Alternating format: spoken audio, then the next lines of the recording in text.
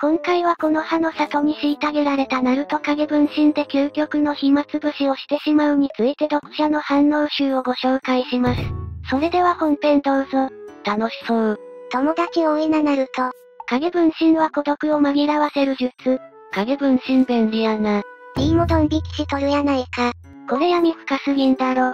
一方抜け人内葉サスケさんの部屋。悪くない部屋住んどるな。なんちゅう掛け軸のセンス。石本先生って書いてるやん。サスケがこの掛け軸飾っとくわけない。これ漫画やとアニメの監督の名前になってなかったっけ？サスケ卓球好きなんか。草違うだろ。ええ子や。やっぱ名作やわ。こことイタチのとこはマジで泣いた。赤ちゃんの頃にキュービを入れられて里を救った英雄なのになんで貧乏暮らししとるんや？ナルトの両親死亡の戦犯。この失敗に関して誰にも知られてないんだよななぜか帯と襲撃してきたって認識で。辛い。ナルトがこの葉の里の住人からいじめられてる時遊んでくれたのって鹿丸と長寿だけやっけ？あいつらいいやつやな。少年時代のナルトと鹿丸長寿牙の距離感ええよな。ナルトが鹿丸長寿牙と小さい頃から友達だった設定台無しやん。なおさら長寿の親秀は、なお牙のほかげ発言は割と初期から強がりだと見透かされてた模様。ガーラ俺はずっと孤独だったナルトわかるってばよ友達いる。オンシールこれやめろ。これ俺も天外孤独だったけど仲間も良い先生もできて運良かったでもお前はそうじゃなかったからそうなるのもわかるってばよって共感してるとこやからおかしくないよな。そいつらいなかったらガーラみたいに闇落ちしてたかもって言ってたやん。影分身の性能おかしいは見えない場所でやったじゃんけんの結果もわかるとか。影分身できたら普通自分と迫るマルス試してみるよな。寂しくなったらサスケの分身と迫るマルスしてそう。ナルトが迫害されたのは断蔵のせいという事実。影分身を使いすぎた結果。わろた。しゃあないとはいえクソ親父すぎる。せめてケーキ机に置いてから溶けや。本体が家でええやろなんで影分身よこすんや。ほかげの職務は本体で。って心情があるから。大事な仕事を分身に任せて自分はのんきに家族サービスとかやっぱりどの道ろくなやつじゃねえな見つけ次第やっちまえ。この葉やっぱ滅びた方がええな。任務より仲間の命優先した能力のある忍者いじめ抜いて自殺させた里やしな絶対本体が仕事してないと里中からブーイング出るで。三代目やつなで、かかし見てると影分身しまくっても仕事消化できず家庭に影響出てるナルトが無能にしか見えんしかまるももうちょいフォローできるやろ。綱手とかかしは独身やでなほかげなんか既婚者には務まらんのやろな。かかしと綱手と卑劣以外既婚者やぞ。わかるってばよ。嘘つきなるとくん。ネットの誹謗中傷やん。下手ななんじ移民より友達多いわ。わかるってばよで改心した敵キャラってあと誰おるっけ？長と、帯と、ナルトあの4人がいなかったらガチでやばかったってばよ。ナルト目線だと鹿丸たちはその他みたいな扱いなんやろな。サイの言葉は何だったのか、わかってなかったんやろ。サスケの同担でシンパシー感じてただけなんだよね。Y がハグしようとした時の嫁の交わし方と一緒。サイもだけど、ヤマトこそはけしり顔で何言ってだ。桜へ友達としては好きだけど男としては全然何言ってんだろ。やっぱカカシの方がようわかっとるわなおサスケのことはよくわからない模様。冷や汗かきながら聞いてるのくさ。なおボルトではサスケはまだカカシに悪態ついてる模様。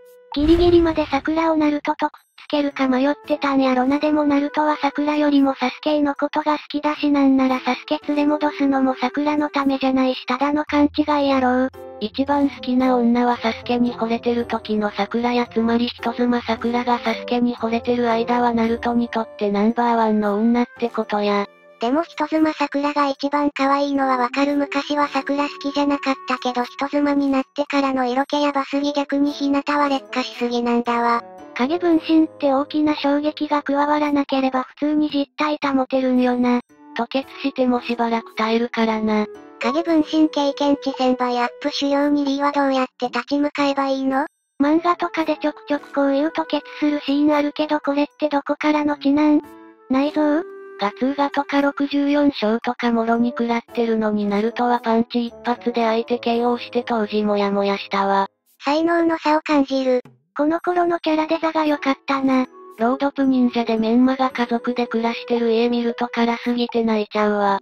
ロードプ忍者の前日談だっけなこの後同期たちと風呂屋に行ってから鹿丸アンでナルトの家に遊びに行って、皆が帰った後に一人家に残されたナルトが無表情で電気を消すやつ、なんか怖かった記憶がある。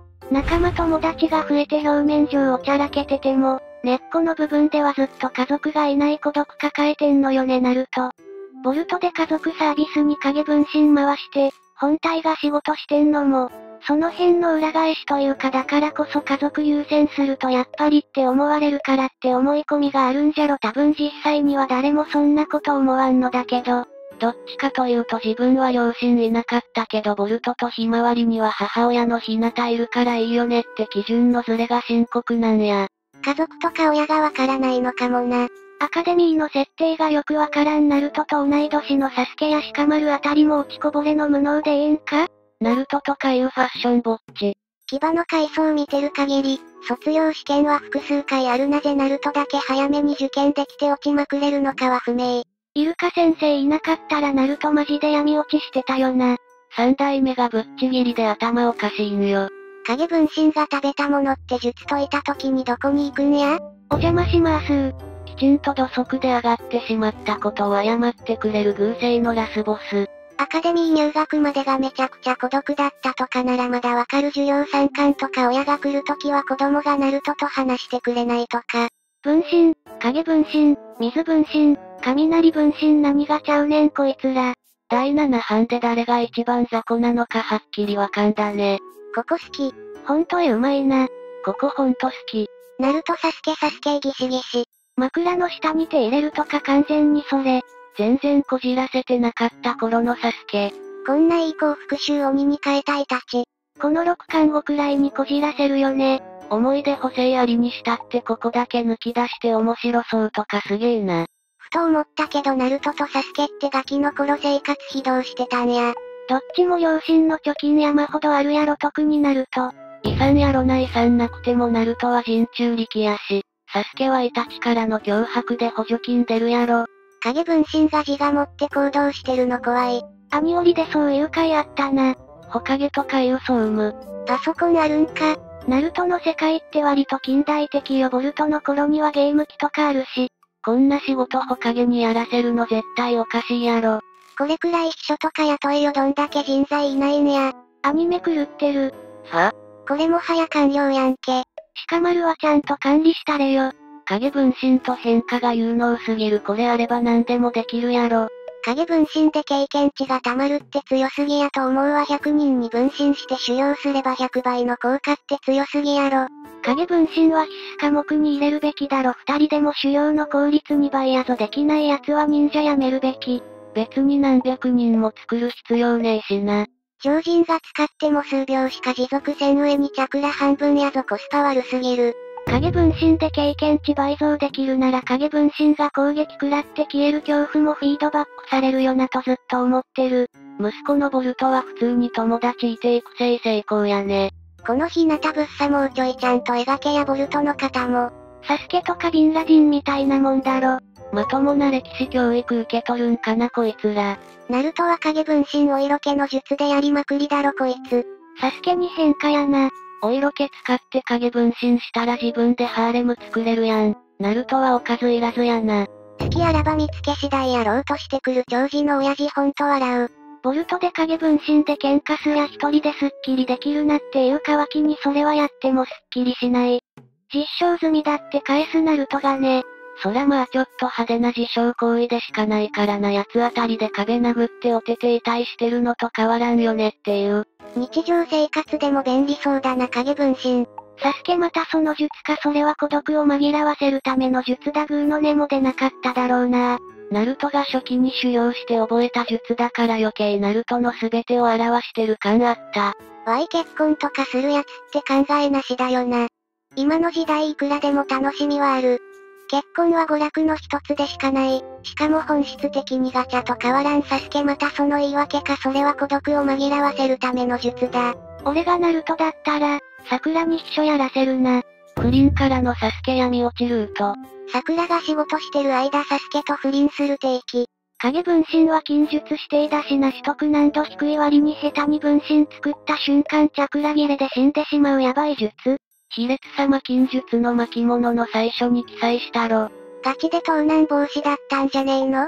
禁術は多重影分身の術な普通の影分身の術は俺でもできるってかかし先生も言ってたろ。影分身でお色気の術やってたら女体化の経験値がフィードバックされていってだんだんお姉口調になるなるとください。なんだこの気持ち下腹のあたりがキュンとするってばよ。ほかげのナルト以外の周りで働いてる奴らが全然忙しそうじゃないんよな鹿丸とか萌木とか。ナルトが雑務までやる理由は自分以外が信用できないからって説づき。皆さんは影分身で暇つぶしをしていたナルトに対してどう思いましたかコメント欄で教えてください。チャンネル登録もよろしくお願いします。